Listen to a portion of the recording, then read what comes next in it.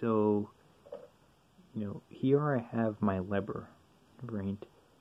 And I was trying earlier I was trying to figure out how right when I push down on my lever not my lever um, my handle you know how is it able how is my cable here is the old original cable. How is it able to push this lever when I pull when I pull when I'm pulling on the cable by pushing the zone control handle down? How is it produce enough energy or enough force to push this lever this blade control lever forward? Right like this so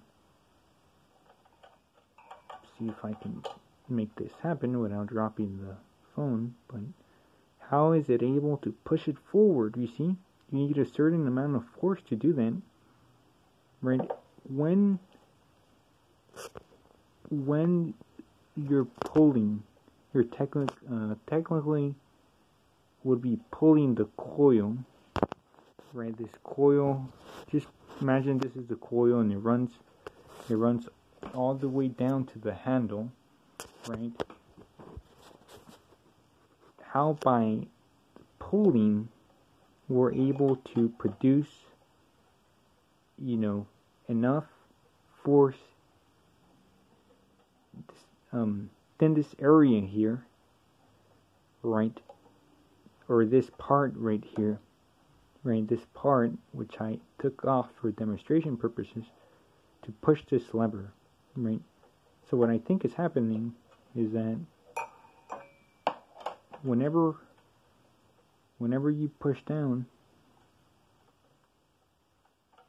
right imagine that this is this these washers here are this end and your all your force is produced in this area. So when you push your whenever you you um, push down on your on your zone control handle this happens. This um, there's force that travels in the opposite direction. So the the force that's going in this direction in, in the direction towards the handle comes back like a rope through the through the housing through the through this through the coil housing through the wire housing it comes in the housing inside the end pushes is able to push this lever forward right? Given the tension here as well. So it's, it's basically a force is pushing a force is pushing this way and a force is pushing this way. And that tenses the it tenses the cable housing and the cable housing then pushes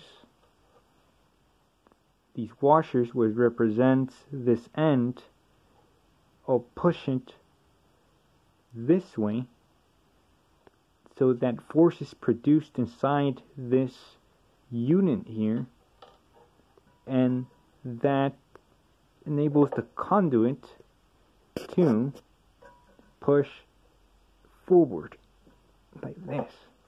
So that's my take on the mechanery be behind this jazz here. Um, yeah